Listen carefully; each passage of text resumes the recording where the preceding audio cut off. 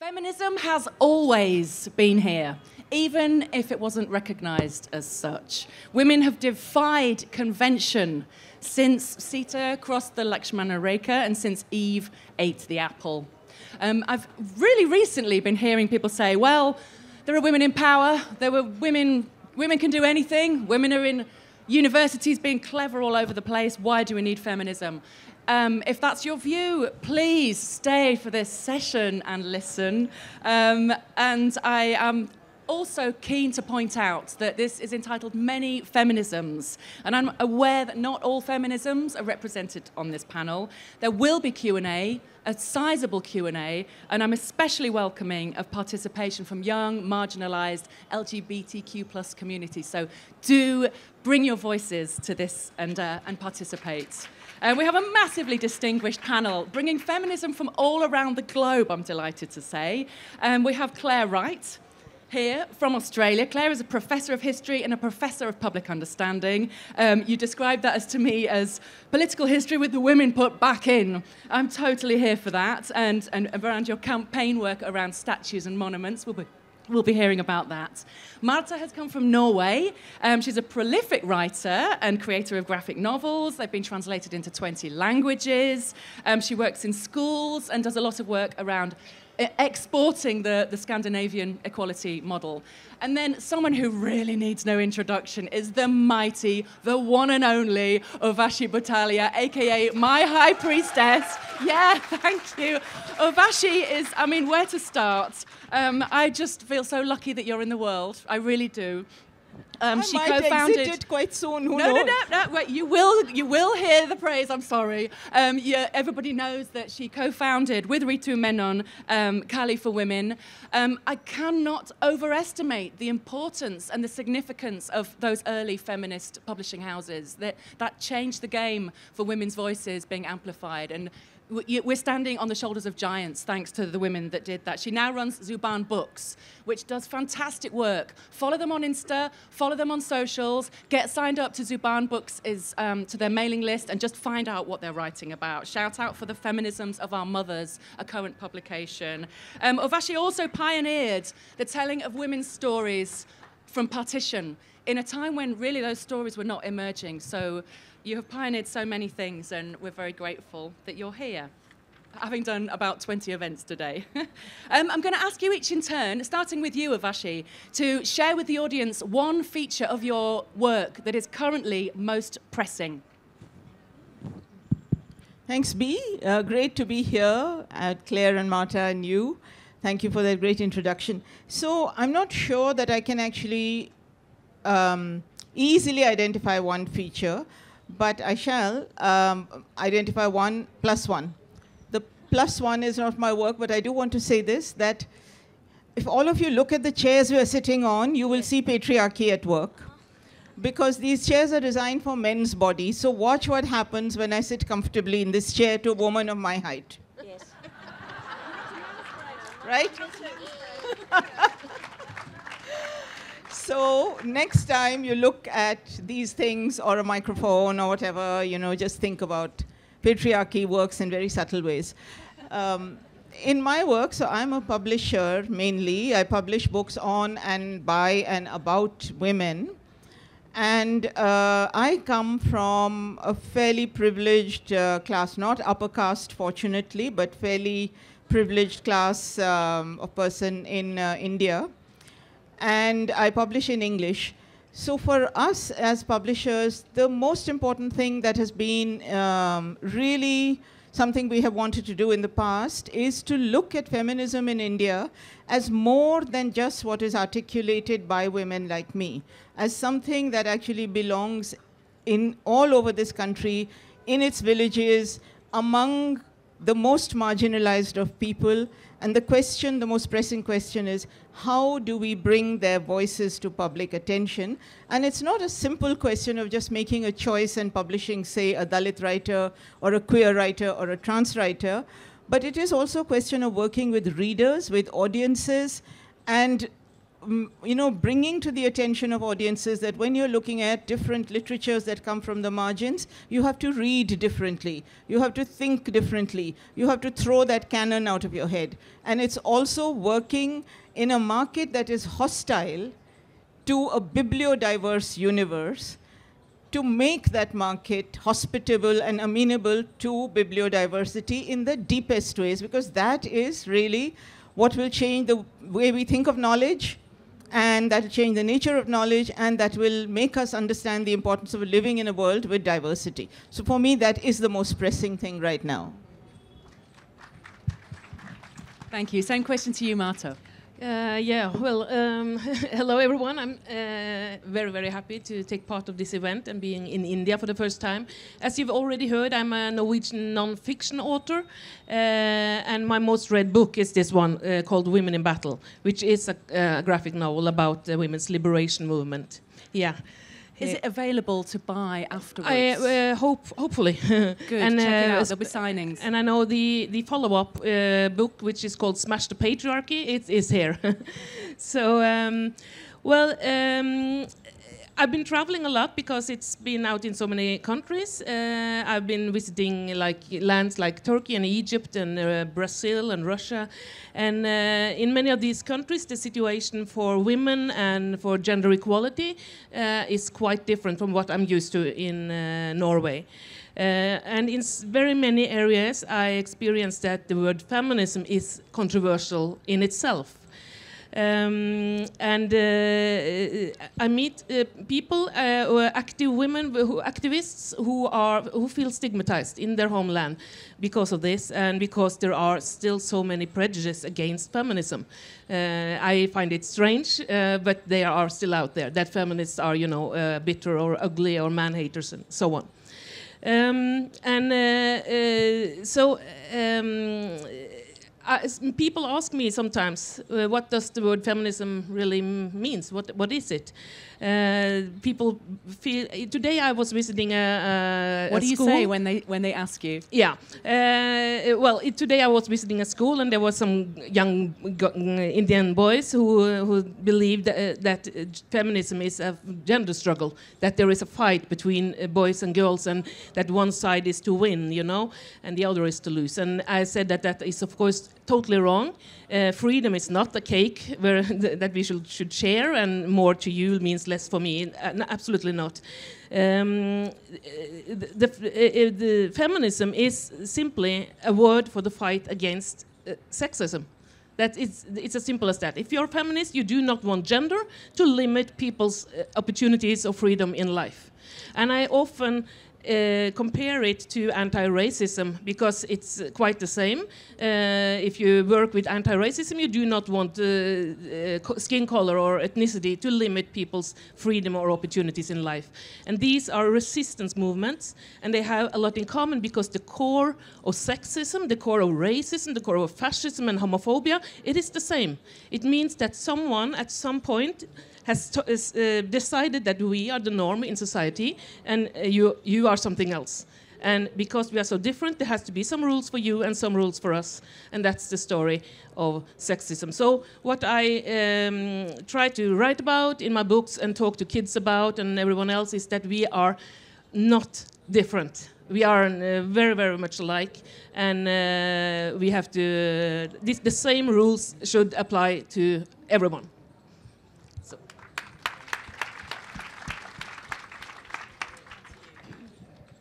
Well, Urvashi's completely right. We are on the edge of our seats here, um, which is both because of the urgency of our topics, but also because of how uncomfortable we are.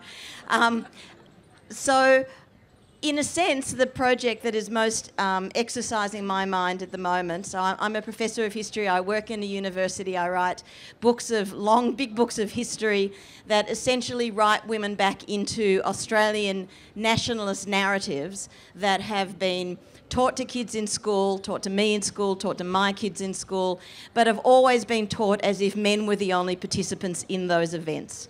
So, our most nation building, nation changing, um, historical events that are considered part of our national identity, and uh, that they have been gendered male, those stories. So, my books and my research as an academic has gone to reinserting the women who are actually there in the stories, writing them in from the ground up through archives.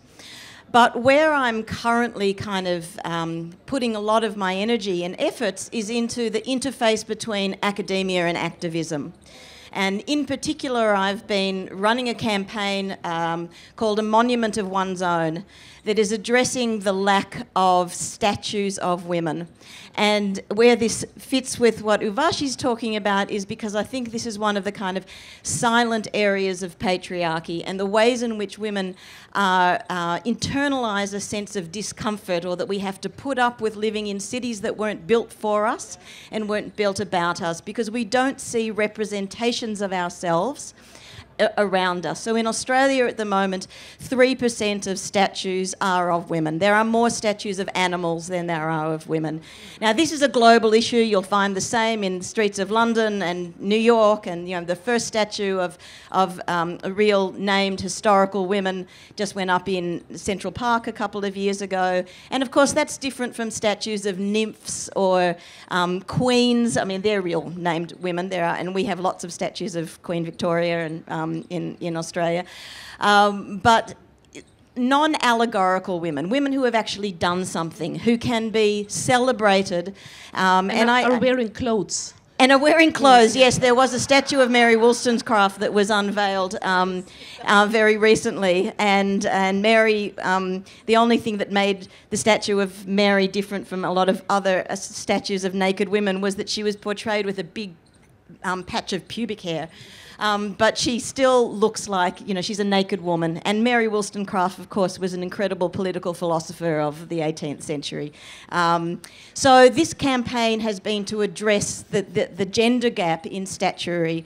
Uh, and, and this is an act of commemorative justice in, in a way. And people say, well, what difference can a statue make? And particularly because statuary, um, you know, marble, brass, whatever it's going to be made out of, is really a relic of 19th century colonialism and uh, it's a, and has been used as a, tool of colonialism and a tool of imperialism, particularly in a country like Australia, um, used to dispossess and reclaim a land for the British in, in, a settler society. But I think that these things are, are really subtly important, like the architecture that we sit in, that our public infrastructure um, and our and um, the public architecture, the way that we read the cities that we walk down. If little girls and little boys can't see s- women on pedestals, essentially. We know how to read the power that's inherent in a statue on a plinth. We say, we don't, might not know who the person is, but we know they've done something important and we know they were a figure of credibility. And because there are no representations of anything that women have done in the past, it just reinforces that idea that women weren't there, they haven't done anything of any significance, they weren't part of nation building, and I think that limits what women feel like they can do in their present, in their in their present and into the future, what roles they might play in building the future. So it's it's a, about addressing that kind of, um, in, in, a, in a sense, invisible injustice. And making it visible. Yeah. Yes. Thank you for setting that out so beautifully. I do have to say, because I was involved in the campaign, that the memorial to Mary Wollstonecraft is intended to represent the birth of a movement, and it's not actually a representation of Wollstonecraft herself. Um, and I know that some people are upset on that, but I needed just to get that point in. But to return to the important point that you make about nation building, what um, I want to ask you, what, what, what can we learn from Australia? My most feminist memory is the Julia Gillard speech that okay. went viral, yes. um, but you've recently had the Indigenous Voices yes. referendum. Yes. What can we learn from Australian feminism? Well, what I would like people to understand about Australian feminism is that it is not as recent as Julia Gillard being the first Prime Minister of Australia, um, elected in 2010, and then making that mis- the misogyny speech where she took on a man in Parliament, her op- the opposition leader, and, and her speech went viral because she basically did what every woman wants to do to her um, husband, to her boss, to her father, which is just to go, uh uh-uh, uh, I'm not taking that. It was I'm, pretty amazing. I'm calling you on that. Um, but actually, Australian feminism um, goes back a century earlier. Uh, so the book that I'm supposed to have on sale here, but I don't actually think that it's made it from Australia, sorry, you can get it online, which is called You Daughters of Freedom, is about the fact that Australia became the first country in the world where women won full political equality with men.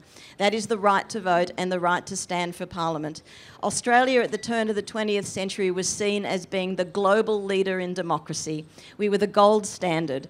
Journalists, sociologists, political economists, everybody flocked to Australia to see what this grand exercise in gender equality was going to look like because the arguments against giving women the vote all over the world was that the sky was going to fall, that it was going to be the end of marriage, women wouldn't have children anymore, um, that it was going to rip the social fabric. So they wanted to see what was going on in Australia.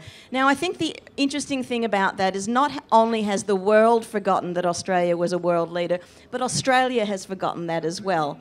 And so it's one of the reasons that I, I uh, when I went to write the book, actually what I was going to do was to show what those early feminists had done after Australia won the vote, which was to go out to Britain, work with the suffragettes, go to America. Australian women led those movements as well. But I realised that Australians didn't know their own history well enough, and I had to actually spend the first third of the book telling that story. So I'd like to, rem- I'd like people to remember from Australia that. Um, that feminism and democracy is not a one-way street. You have to com- you have to constantly defend it, remember it, celebrate it. Um, otherwise, patriarchy is a very successful blanket in silencing and invisibling women's history. Yeah, so true.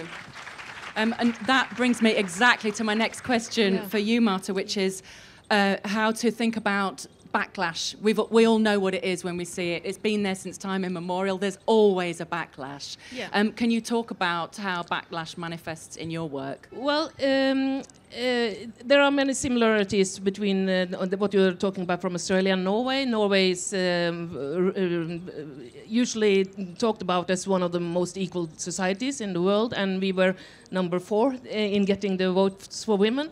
Uh, but uh, also Norwegians, even though I believe that equality is some kind of in our identity, we, we, we are very proud of these uh, uh, things I'm talking about here, but, but we, we forget uh, very easily. And all my authorship has been about p- uh, lifting those women who have uh, been forgotten.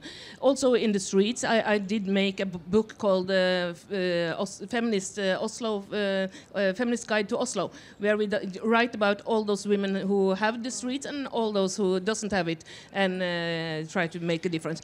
But uh, it, it's important because uh, in Norway we lean we lean back and believe very many things that oh, we have done that, we are we are finished, and we can just relax, and uh, whatever we have won, it will be won forever. And then now we see that that is not uh, the case. Uh, uh, early, uh, um, no, Norwegian, they don't identify with women in Afghanistan. uh, uh, unfortunately, we, we, we feel that okay, that is another part uh, of the world. But when suddenly things happen in the United States, when they lose the right to safe abortions, and uh, women in Poland, which is the biggest immigration group in Norway, they lose their rights, then suddenly it creeps uh, closer and closer. So And- there are, sh- there are shades of, the, you know, from, from just forgetting or being passive to things, to, to actual pushback. Because Yeah. one, of the, one of the things that I wanted to, to invoke for discussion is there was a, a recent study, I was, I was m- most recently read in the Financial Times, but a global study that showed that whilst young women that tend globally are tending more towards progressive values. Young men dramatically are becoming less progressive. The whole Andrew Tate online toxicity phenomenon, which we're seeing both in political leadership, which we're seeing in you know the, the big in, in tech, in tech culture. Um, how how can we explain this? this? And this is for anybody to jump Yeah. in. Well, uh, I believe that um, guys, boys, men, uh, they are uh, um, usually drawn uh, more to the right-winged uh, politicians, and uh, to uh, uh, when peop- when men uh, like macho pat- patriarchal leaders, as we see right now, like Putin, like Orban, like Erdogan, and Bolsonaro and Trump, and also these internet incels, they try to appeal to a certain thing in men, which is maybe that they feel that they have lost something something, uh, something that they were entitled to, something that maybe their, father had. That means, uh, mm, uh, for example, full control over the women in the house. And uh, so they uh, are targeted by this uh, political uh, wave. And uh, uh, luckily, in uh, many many men, they uh, are, are very modern and liberal and don't fall for this. But unfortunately, and especially when times are like a bit scary, as it's right now, people become tend to become more nationalistic, and they tend to. Uh, be more um, uh, uh, to to obey obey authorities, like uh, to look up to these very strong men, and so it's a very scary time at uh, at the moment, I Yeah. believe. I think a lot of people are feeling that. Urvashi, I want to come to you and talk about protest and not just the right to protest, but different forms, um, all the way from Shaheen Bagh to online protest and what, what uh, manifestations, how that's incarnated. Can you talk to that, please? Um, okay, you want to know, you want to talk about protests here in India, and um, yeah, well, I think protest for us has been very much part of uh, the ways in which women in this country have mobilized for change. Uh, and in the past, some of the protests have been relatively, within quotes, successful. So, for example, when I was growing up as a feminist in the 70s, uh, we were battling the state on uh, legislation to do with rape, to do with dowry, to do with violence against women, and so on and so forth. And those protests were heard by a state which was open, relatively open, because it functioned in a democracy, and relatively open to all its citizens, including women, if we could raise our voices enough. And we did succeed in getting some of those changes. Uh, the situation has changed dramatically since then, and it hasn't changed only in the last so many years, but it has changed over several years because for all our states, all our governments, the question of security has become a big question. And the citizen, male, female, or the citizen generally, has become the state's enemy. It's like the state is at war with its citizens. You know, the JLF once had a debate, a closing debate, the state is at war with its citizens, and people were defending the position and not. And I think that's really something that uh, states across the world are um, doing because the citizen has become the state's enemy and therefore to be silenced and, and kept down. And there, um, the protest of the citizens becomes a direct threat to state power, and therefore it's limited by saying you can only go up to a certain space, you can only demonstrate here. You know, when we were young feminists, we could go up to more or less the Houses of Parliament in Delhi, and then we would be parked there, thousands of us, and then 10 people, 10 women would take a delegation across to the Houses of Parliament. They could meet any minister and they could talk to them, and they would listen to them, whether they do anything or not, but at least it gave you the illusion of a dialogue with power. That illusion's completely shattered. Power doesn't care. You can sit in Shaheen Bagh and protest forever, but it doesn't matter. To, so that's one aspect of it. But the other aspect of it is protests like Shaheen Bagh, which are women's protests, have a different, bring a different character to protest. They bring feminism, an in unknown or perhaps unrecognized feminism. They bring their children. The protest becomes the place where they cook. The protest is where they sing. The protest is in Shaheen Bagh, they set up a library. There was a community library that was functioning there. Students were being given their lessons. So, and, and those women who might be battling each other inside the home, because that's what patriarchy makes them do, are building solidarities on the street. So that also becomes really important. And I think we've seen a lot of that. So I wouldn't despair about protests. I would say that it has had to change its tactics, and it has. Mm-hmm. And if I may just add uh, two things, I know we're running out of time. To the point that Clare made about our cities and statuary, mm. I would say there are so many other things to add, and one of them is toilets. If you oh, look at our cities, hmm. you know, do our cities have women's toilets? They don't. They have started, I'm talking about India, they've started to have them now. When I was growing up, there were no toilets. We used to have to hide by the side of the road if we wanted to go to the toilet, or we used to have to drive, those of us who come from privilege, drive into luxury hotels to use their toilets over there. what strikes me also as really revealing is we notice the lack of toilets because we feel the need. But the guys never ever noticed it because for them, they had the toilets and they had the road. They could stand their backs on the road and use it, you know? so they never noticed that women did not have this. This is what comes from privilege, really. Yeah, So there's yeah. so many things that we really need to address I over can, there. I can see you're, you're dying to jump back I- in. I- just an historical point Australia might have been the first country in the world where women could stand for parliament and, um, and had the first woman who did stand for parliament in 1902, a woman called Vida Goldstein.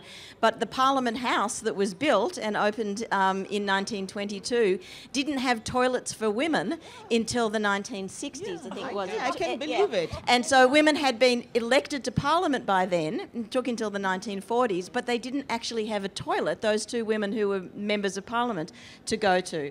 And, and so we're finding this not so much on our streets necessarily, but in other areas where women are starting to participate that have been pre- previously seen as all male, male areas. And I'm particularly thinking of sporting clubs. There are a lot of areas of, of, of male dominated sports that are now being played by girls. Australia is a sports mad country that are now being played by girls and women.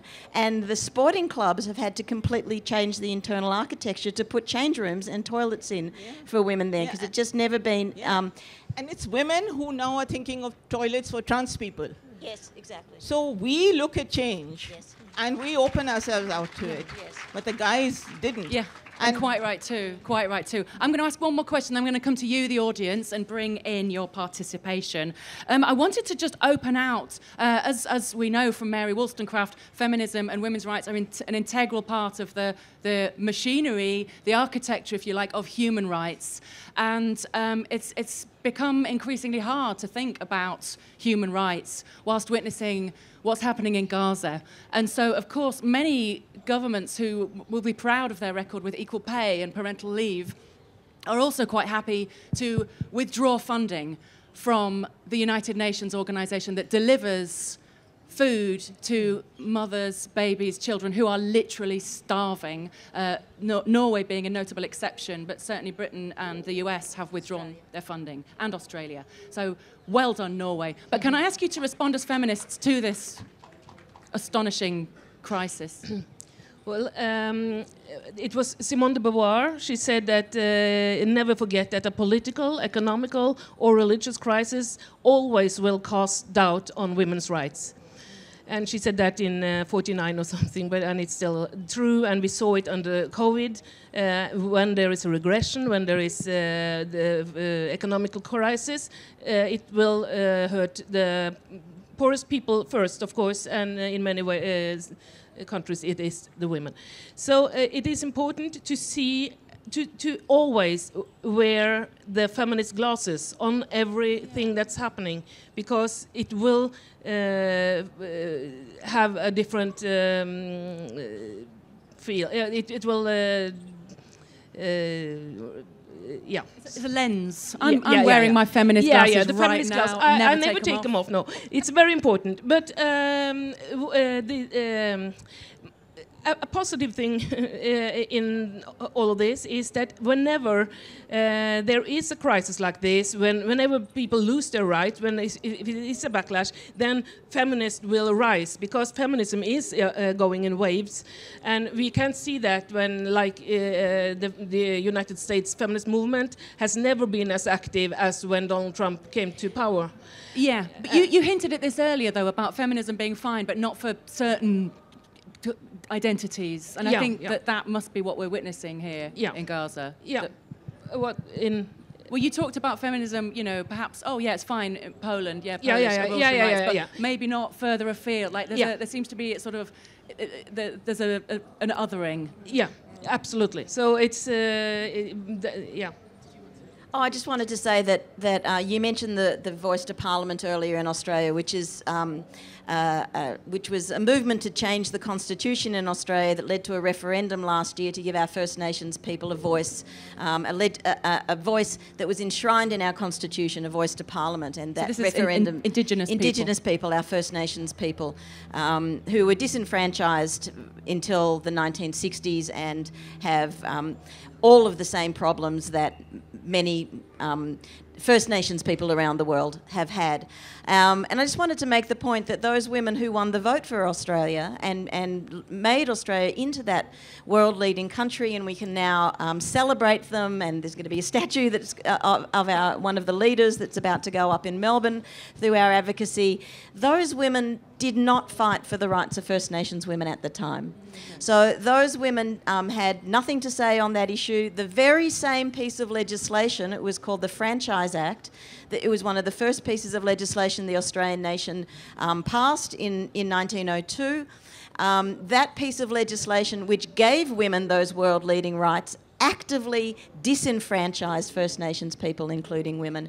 And nobody fought for those, none of the women that we're now celebrating fought for those rights. So, again, this is, you know, history is very instructive in showing us that we're not remaking this wheel, but we do have to be very, very careful to bring everybody along because there's no such thing as one way liberation, but also no one's free until everyone's free. Yeah, absolutely. absolutely. That, that feminism is very much a work in progress. Thank you for that. Urvashi, would you like to? Yeah, if I could come in. Um, I think um, you said it, Marta said it. I want to just agree with what she was saying. That politics, of course, is what trumps everything, political interest. And your earlier question about, you know, men uh, veering more towards the right, I don't think that that's the case. I think it's much more that the model of masculinity that our leaders are perpetrating across the world, and that's what really is uh, is also being played out in Gaza and the anti-Muslim sentiment. But in South Asia, South Asian feminists have been gathering together in acts of solidarity with Palestinian feminists, and there has been a lot of work going on on the ground. And Bee, I want to just say to you that this is a session on many multiple feminisms. Um, but feminism does not start with Mary Wollstonecraft. No. And Mary Wollstonecraft and many of the women who fought for the vote supported the colonial empire and supported empire in India against their Indian sisters. So I think when we talk of feminisms, I think it is really important to talk of this side of the globe and women this side of the globe. And I want to direct you to the Buddhist nuns in the 6th century BC. Mm-hmm. I want to direct you to a young Dalit woman in the 19th century who wrote against patriarchy. I want to direct you to a woman called Tarabai Shinde. I want to direct you to the hundreds of women who took part in the independence movement of this country. I know historian recognizes. That is where our feminism comes from. Yeah. It doesn't come from the West. It's thank you, thank you. Absolutely well said, and I think that's the perfect moment to, to yeah. open out. Thank you, Urvashi. So I'm going to ask my microphone people to be super quick and speedy today because we don't want to lose time. So get your hands right up in the air. Uh, I want to hear from a young woman first, obviously. Yes, there's one right there. Hi. Yes, blue jumper. Stand up, please. Yes. she said I'm not too young. Oh, younger than us. yeah, right. Okay, so, you know, because it's a talk on many feminisms, I sometimes wonder whether the backlash to feminism comes from women struggling with balancing, let's say, how, you, how do you bring up an empowered little girl when you are not around and you're building your career? Or, you know, challenges of balancing your traditional roles with a, a career role. And feminism sometimes tends to be oppositional or arrogant to those conversations, and then it becomes an oppositional backlash.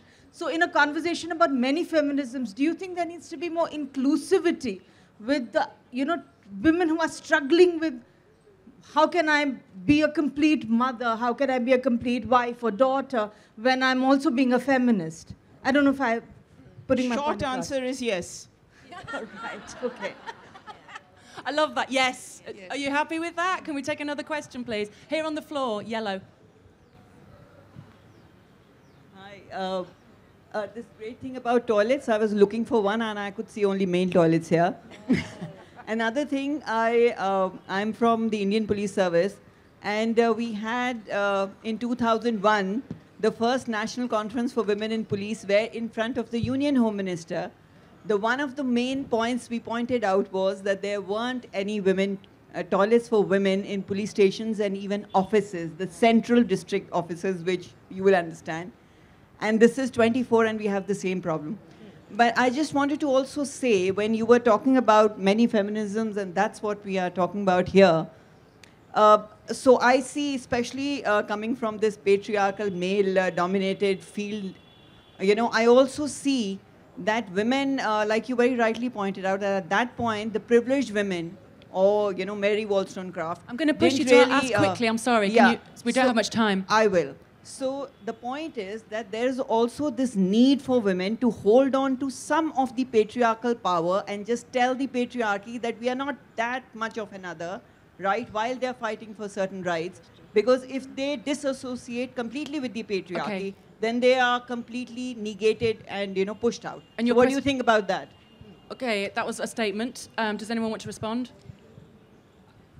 I mean, does that happen? I mean, do you feel that happens? Yes, I think it happens, but I think we have to deal with it because, you know, it's, feminism is, as Bee pointed out, a work in progress. It's evolving.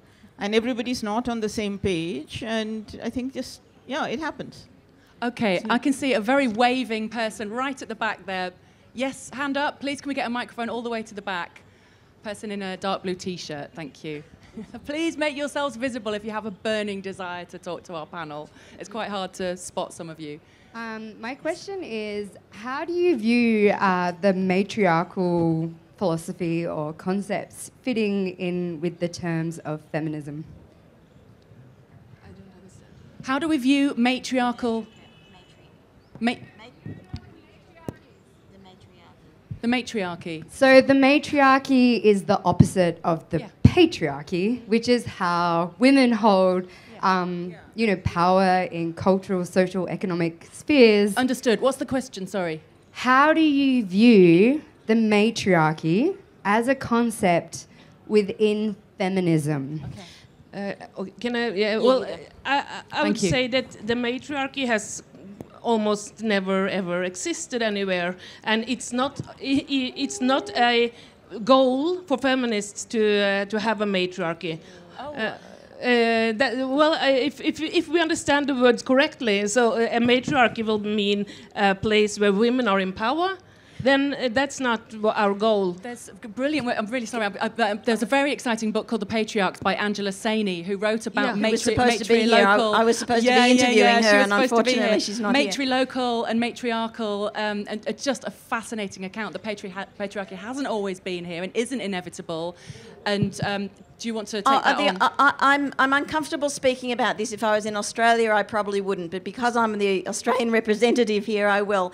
That in our First Nations culture, um, matriarchal power systems are very much in place. So, Indigenous culture, uh, Australia has the oldest living culture in the world, 60,000 years of human occupation of the continent. And Australian Indigenous culture has a very strong matriarchal system.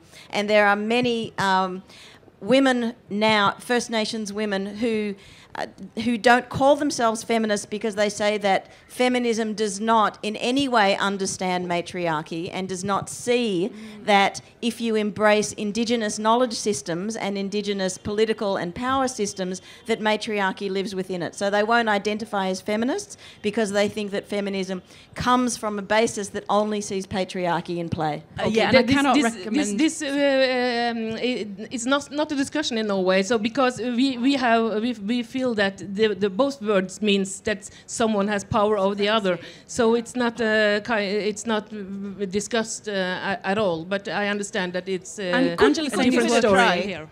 And we could give it a try. It might be fun. Hey, the night is young. What are we waiting for? but I must give a shout out for Angela Saini's work. It's quite exceptional and very, very interesting. I know. Um, yes, on the front. Yeah, I've not framed the question uh, very well, but what I'm trying to say is that in India, we are having now this concept of capitalism and market-free economy ki taraf we are going ahead with that. And um, whenever there is any conversation regarding uh, feminism has its roots in socialism, but the moment it comes to ideology, people are divided. So how hopeful are you of the solidarities that we can build?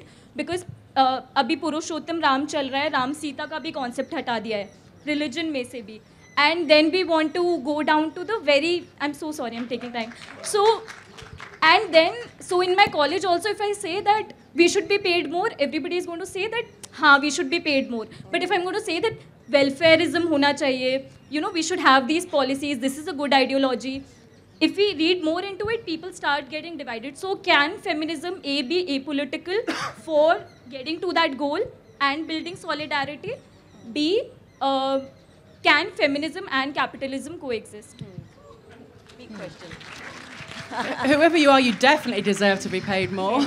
I, I just want um, uh, let Urvashi, you take that mostly. I just want to say one thing on that score is that first wave feminism was very much based on the idea that socialism and feminism were going to work together to end not only inequality in the gender sphere, but inequality in the economic sphere, and that ending poverty, and particularly women's poverty around the world, was part of that project. And it's really important to remember, and here's one of the things that we tend to forget as well International Women's Day, which is now celebrated around the world as a time to, um, to, to celebrate women's achievements, started as International Women's International Working Women's Day and it was very much came out of um, socialism and that has been dropped and basically since the 1970s capitalism has co-opted international women's day Okay, we've got time for one more question, and it's the lime green question right here in the middle. It's our last. I'm so Thank you. sorry. We're, we're going to be thrown off. Okay. By Urvashi, please. and then we'll come to you, but we've got to all be super say, quick. I would just say you have to ask a different question. Uh, not whether feminism can be divisive, anything can be. Ask yourself why a male and female who are born with exactly the same biological features except what hangs between the legs, what does that have to do with flying a plane or doing something else? Uh, so ask yourself why that inequality, and you'll have your answer. Thank you. And your last question, briefly. Yeah, thank you. My question is that um, when women get elected as heads of villages, which we see in India as sarpanchas, but we know that they are just a proxy for the men, um, or you can be a Dalit woman who's elected to the highest uh, post in the country, but then you're conveniently uh, you know, allowed to come to certain spaces or not allowed to come to certain spaces, not allowed, uh, you know, when the country's parliament uh, is being opened or the biggest Ram Mandir is being opened. My question is to everyone, Urvashi to you, but to everyone saying, how do the many feminisms on stage view that sort of a moment and that sort of a dichotomy? Wh- uh, what was it that it's. Um, can I answer? I've understood Yes. what she's asking. I can't respond to how many feminisms see that, and I think everybody might see it differently. The question was when you when a woman is elected and comes to power. Um, but when she comes from a marginalized community, that power is restricted, as it is, for example, for a Dalit woman, that she's not allowed to access X and Y places. So the caste travels with her, even though she has power. And how do feminists view that? That was the question. So, in a sense, as I said, I can't respond for all feminists. Uh, but what I can say is yes, that is uh, not a question for feminism, in the sense that feminism is not responsible for her caste traveling with her or for the inequality that she carries. It's, there are many other things that are responsible for that, and we have to address all of those. Nonetheless, the fact that a Dalit woman may be in power through elected, uh, in an elected way like Maya, uh, Maya Rani was or whatever. So I think it is uh, very important for hundreds and thousands of young women to see that person there because it is inspirational and it puts forward for you a realm of possibility, uh, a way in which your dream can, if it can become a reality for her, maybe it can become a reality for me. So it doesn't solve the problem, but I think it's not unimportant. I'm going to have to say um, I'm so sorry to all the people whose questions we can't answer. I wish we could stay for a gigantic feminist festival that lasted all week. There is more than enough. There are so many questions. Chair There's so many year. places. I know. I just there's so much we could have got to, but I want to thank my brilliant panel. I loved your quote: "Freedom is not a cake." Let's the, you know the more you share, the more you get. And I'm going to close with the words of Audre Lorde. Of course, I am not free while any woman is unfree. Thank you for being here. Thank Come you. and buy Thank books. You so much.